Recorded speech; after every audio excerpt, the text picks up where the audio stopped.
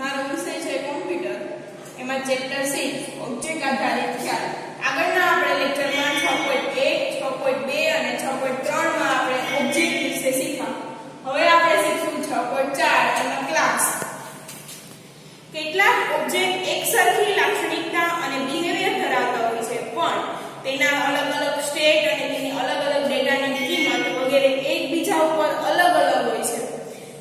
આધારિત પદ્ધતિ પદ્ધતિમાં ક્લાસનો ખ્યાલ અલગ જ હોય છે, જેનો ઉપયોગ આપણે કરી શકતા નથી. એક સમાન ઓબ્જેક્ટની સામાન્ય લાક્ષણિકતાઓને વ્યાખ્યાયિત કરવા માટે આપણે એક ક્લાસની જરૂર પડે છે. કોઈ પણ એક આપણે પ્રોગ્રામ બનાવતા હોય, એક ઓબ્જેક્ટ અને ઓબ્જેક્ટ લીધા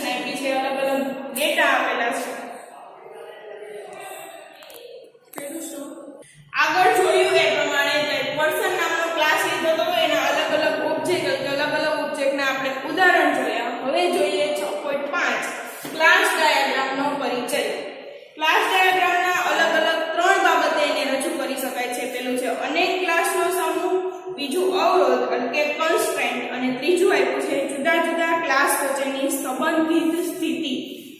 એમાં પહેલું યુનિફાઈડ મોડેલિંગ લેંગ્વેજ એટલે કે યુએમએલનું ફૂલ ફોર્મ થાય છે યુનિફાઈડ મોડેલિંગ લેંગ્વેજ જેમાં ઓબ્જેક્ટ આધારિત સોફ્ટવેરની અલગ અલગ પ્રતિકૃતિ એટલે કે મોડેલ તૈયાર કરવામાં આવે છે. જેના આધારે આપણે તેના વિનિયોગ, એટલે કે ડાયાગ્રામ યુએમએલ એક ડાયાગ્રામ પ્રકારની લેંગ્વેજ છે જેના રીતે આપણે આગળના એક્ઝામ્પલમાં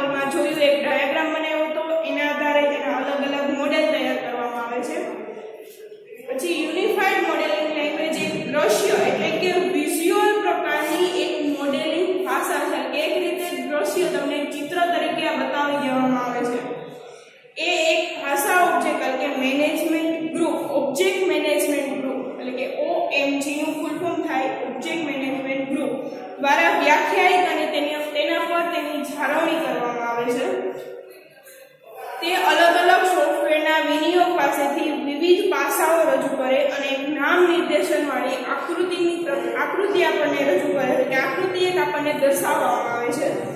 જેના ઉપર ક્લાસ ડાયાગ્રામનો એક મૂળભૂત હેતુ નક્કી કરેલો હોય છે એનો સિદ્ધાંત કે ધ્યેય નક્કી કરવામાં આવે કે અલગ અલગ પર્સન લીધા.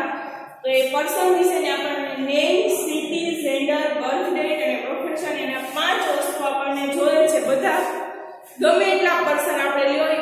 પર્સનની પાંચ ડિટેલ્સ તો આપણી પાસે ફરજિયાત હોવી જરૂરી છે. આ ક્લાસ ડાયાગ્રામની રેખાકૃતિ એટલે ઓબ્જેક્ટ આધારિત ભાષામાં સીધે સીધી તેને જોડી શકાય છે. કોઈ હવે આપણે એક આખો કોડ લખતા હોય, આખો પ્રોગ્રામ તૈયાર કરો, તો જેમાં એને name city gender birth date અને પ્રોફેશન આ પાંચ વસ્તુ તમારે લેવી ફરજિયાત છે. જેનો એક ઓબ્જેક્ટ તરીકે આપણે તેનો ઉપયોગ કરી શકીએ છીએ. જેમાં આપ્યું છે ક્લાસ રજૂ કરવા માટેનો આઇકનમાં ત્રણ વસ્તુ લીધી છે. ક્લાસ નેમ એનો એટ્રીબ્યુટ કે પ્રોપર્ટીઝ બિહેવિયર ઓપરેશન અથવા તો મેથડ આ ત્રણ વસ્તુ જરૂરી છે. એમાં ક્લાસ નેમ એટલે કે સૌથી ઉપરના ભાગમાં ક્લાસનું નેમ આપવામાં આવે. કોઈ પ્રોગ્રામ તમે લખવાનો કોઈ એક તમે ક્લાસનું નામ લખો પ્રોગ્રામની શરૂઆત કરો. એમાં પહેલા વેલો પ્રોગ્રામની શરૂઆતમાં ક્લાસ નેમ આપણે ક્લાસ નેમ લીધું છે પર્સન ક્લાસ પછી પર્સન તરીકે લેવાનું છે. બીજા આપ્યું છે વચ્ચેના ભાગમાં ક્લાસના એટ્રીબ્યુટ કે પ્રોપર્ટી હોય છે પહેલા પહેલું ક્લાસનું નામ લઈ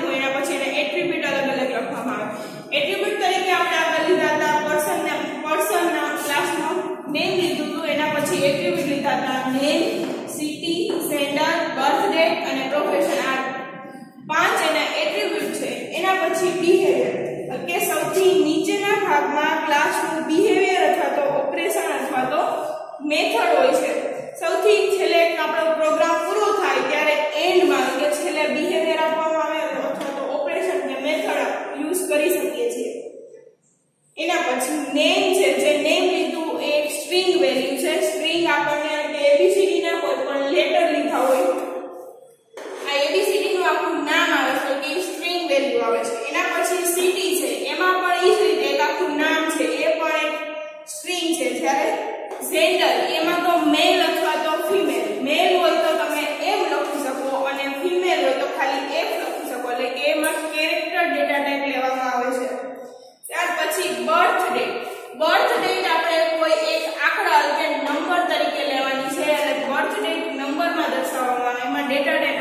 ડેટ ડેટા ટાઈપ લેવામાં આવે. એના પછી પ્રોફેશન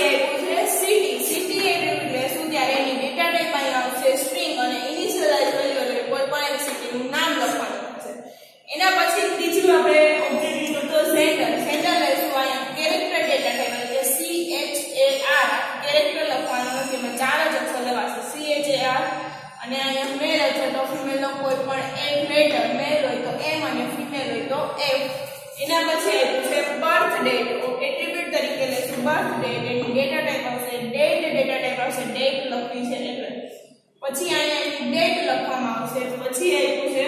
પ્રોફેશન તો કે પ્રોફેશન એની ડેટા ટાઈપ આવશે સ્ટ્રીંગ અને જે આપ્યું છે સ્ટુડન્ટ હોય ડોક્ટર હોય, કે પ્લેયર હોય, જે હોય એનું નામ લખવાનું થશે. એના પછી યુએમએલ યુએમએલ મેથડમાં એટલે જેન્ડર પછી એમ અથવા તો એ કેરેક્ટર આપણે જે એક અક્ષર લખી ફરજિયાત કેપિટલમાં જ લખવાનો છે, કે પહેલી એબીસીડીમાં લખવાનો અને સિંગલ ઇન્વર્ટેડ કોમામાં લખવાનો. થશે અને સીએ જે આ લખવું અને કોઈ પણ એક લેટર લખવાનું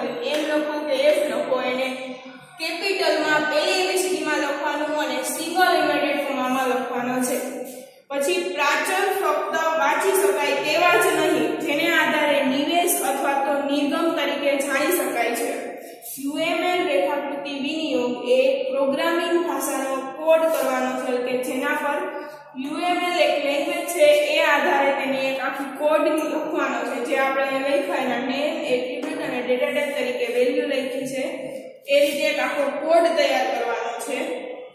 જે કેટલાક સોફ્ટવેર કે વ્યક્તિઓ એટ્રીબ્યુટ અને તેના કાર્યને પ્રમાણભૂત એક યુએમએલ સંકેત લીટી જણાવવાને બદલે એક પ્રોગ્રામિંગ ભાષા કે વધુ પ્રચલિત તેના અલગ અલગ માળખા છે, જેના આધારે તેને પસંદ કરી આ પ્રકારની પદ્ધતિ જ્યાં સુધી દરેક સંબંધિત વ્યક્તિ માટે અર્થપૂર્ણ રહે, ત્યાં સુધી જ તે યોગ્ય રહે છે. તે અર્થ કે તેની આપણે અલગ અલગ જે બધી માહિતી થઈ ગઈ છે name city gender birth date એની પ્રોફેશન એની જરૂરિયાત પૂરી થઈ જાય કે અર્થપૂર્ણ તેની જરૂર